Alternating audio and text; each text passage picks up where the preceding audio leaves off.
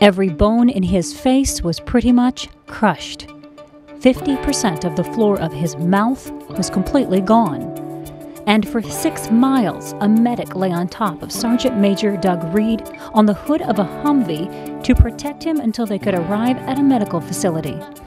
It's a situation no one wants to face.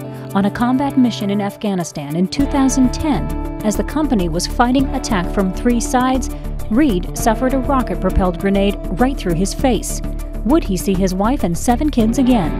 Sergeant Major retired Doug Reed and his wife Jana um, have a wonderful testimony about how God has worked in their lives um, during his recovery, during the whole ordeal that happened in Afghanistan.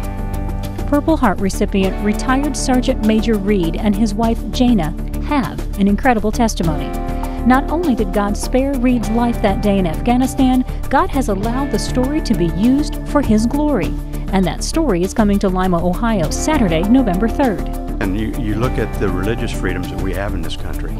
Uh, we have them partially because of the men and women that have gone to bat for us. Those men and women and their families and friends, as well as the public, are invited to a Veterans Appreciations Dinner Saturday, November 3rd at Cable Road Alliance Church in Lima. In addition to local special music and a catered meal, attendees will experience firsthand the Reed's incredible testimony, the stories, the struggles, and the God experiences through it all. Two free tickets are available to every veteran, and if that's you, pick them up from WTGN, Cable Road Alliance Church, or Tom Ahl Family of Dealerships.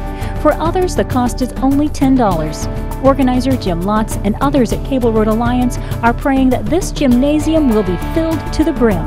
Doors open at 5:30 p.m. November 3rd. Dinner starts at 6 p.m.